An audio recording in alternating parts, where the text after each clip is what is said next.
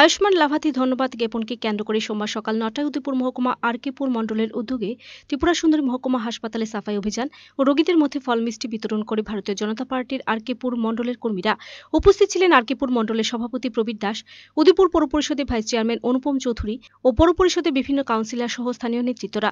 এদিন প্রথমে ত্রিপুরা সুন্দরী মহকুমা হাসপাতালের চারিপাশে ঝাড়ু হাতে সাফাই অভিযান করা হয়। সাফাই অভিযান শেষে হাসপাতালে থাকা আঠাশ জন রোগী ও নার্সদের মধ্যে ফল মিষ্টি বিতরণ করা হয়।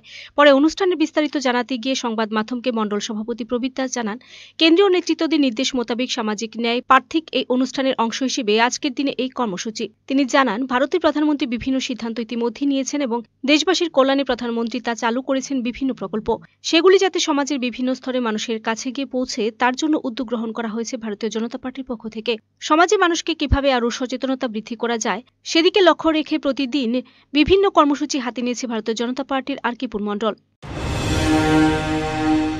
জেলার এই Tripura Sundari sub division hospital এখানে এসেছি। আমরা সাফাই অভিযান করেছি এবং এখন রোগীদের মধ্যে ফল মিষ্টি বিতরণ করেছি।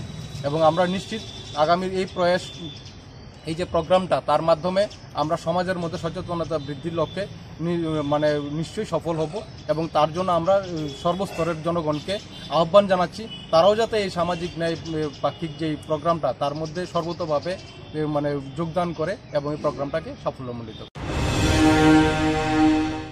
Video report search India